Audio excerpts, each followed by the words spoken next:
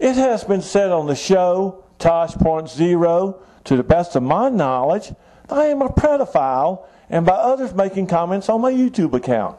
I am not a pedophile, and to say such is slander. They also said I need to be locked up.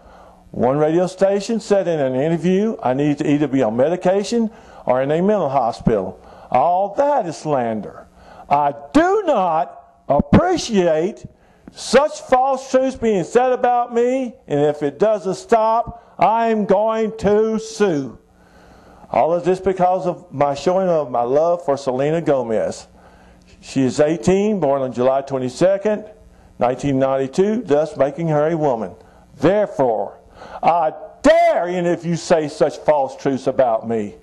On this past Sunday afternoon, a boy called to me crying who was having a really hard time.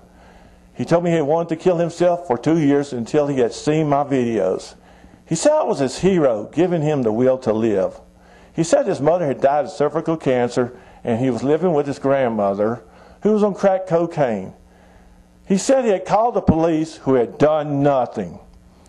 This really broke my heart. Now, of all the people in this country he could have called, he chose to call me.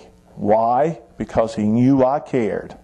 I hear from kids and teenagers from all over the country all the time because I'm an inspiration to them. Just ask any of them. Go ahead, ask them. Again, me? A pedophile? No, and far from it. This is Jay Herrod again. Thank you.